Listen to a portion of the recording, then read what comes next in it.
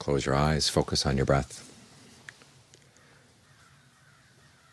And don't let your mind go wandering off into thoughts of the past or the future. Try to stay right here in the present moment.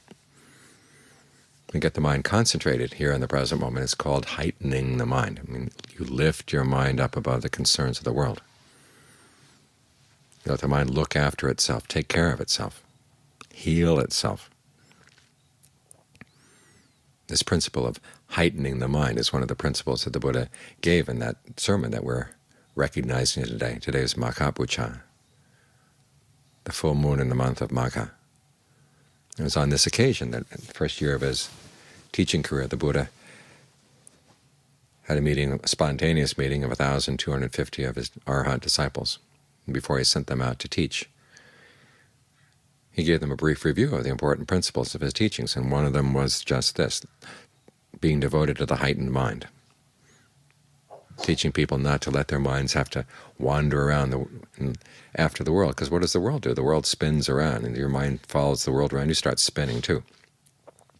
And after a while, you don't know what's up or down.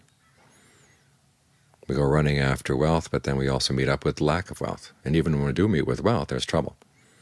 We run after status. We meet up either with status or with loss of status, and there's trouble there too. The same with criticism and praise, pleasure and pain. We run after these things, and yet they don't really lead us to any true happiness. They just lead us to spin around. So the Buddha says to lift your mind up above the concerns of the world, have it, make it one right here in the present moment, where it can be independent. It doesn't have to be a slave to those things. So think about this in the course of the day. As you go running after things, what are you a slave to? Are you a slave to your greed, aversion, and delusion? Or are you going to try to free the mind from that slavery? We make the choice every time we choose to follow something or to let it go. So if you're going to follow something, make sure you're following the good things. Otherwise, you're like those insects in Thailand. They walk in long chains as one insect doesn't know where it's going, but another one latches on behind it and follows the first one, thinking that the first one knows where it's going, and then there's a whole long chain of them. They don't want to know where they're going.